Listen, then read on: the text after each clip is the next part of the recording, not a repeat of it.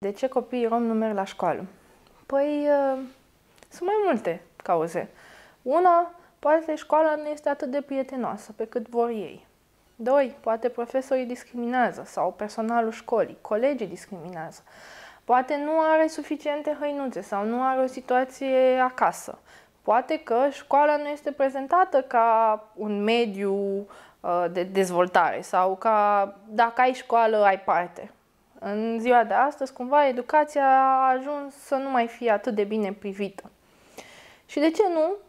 Poate părinții nu știu cât de bine face educația copiilor lor pentru că nu au avut exemple pozitive în comunitatea lor de rom sau nu au auzit despre modele rome care au reușit sau despre persoane rome care au reușit să facă ceva cu educația. Cred că sunt diferite cauze și asta diferă de la comunitate de rom la comunitate de rom poate sărăcia, poate discriminarea. Toate, la un moment dat, se întrepătund și duc cumva la faptul de abandonarea școlii. Subiectul ăsta de căsătorii timpurii, de maiaje timpurii, este un subiect complex și sunt multe cauze care conduc la, la această, nici nu știu cum să o numesc, acțiune asupra comunității de romi, dar Cred că diferă de la comunitate de rom la o altă comunitate de rom, pentru că romii sunt diferiți. Romii au diferite neamuri și uh, în cadrul acestor neamuri sunt practici diferite.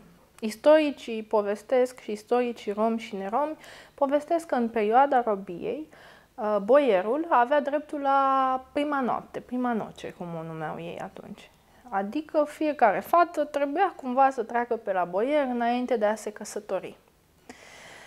Um, pentru că există în comunitatea noastră romă uh, principiul de, de rușine, părinții alegeau să, să le căsătorească de vreme, astfel încât să nu fie nevoite să treacă pe la boier. Nu aveau voie să se căsătorească cu o altă etnie sau nu existau căsătorii mixte cum există astăzi. Și atunci tot ce făceau, făceau în interiorul locului unde ei erau robi. Ei au găsit această soluție ca o soluție de ieșire din situația de atunci și uh, au continuat-o și după ce au fost eliberați. Există programe care lucrează atât cu părinții cât și cu copiii pe această temă pentru că um, încercăm noi, organizațiile de rom, să, să le explicăm și să le arătăm care sunt efectele negative asupra copilului și asupra lor ca și familii